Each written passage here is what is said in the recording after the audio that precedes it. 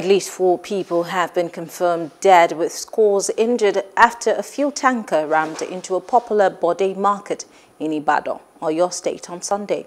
Eyewitnesses say the vehicle lost control due to brake failure and crushed traders.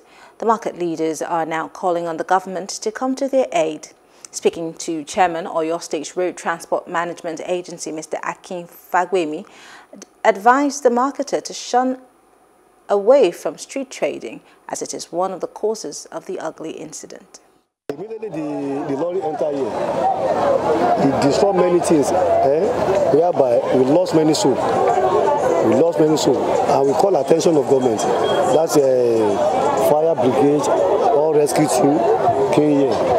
So since uh, they arrived around 8 o'clock, before they can succeed in order to lift up the tank, It's around something uh, 12, 30 midnight.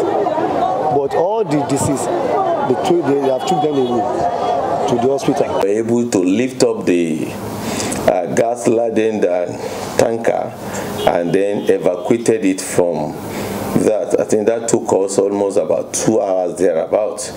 Uh, our mothers, our sisters, who as it were want to sell their goods, uh, we've been asking them, talking to them, uh, to always move away from the road. Uh, some of them are complying some of them say find it difficult to understand why we're doing that. And what happened yesterday is an example of what could happen.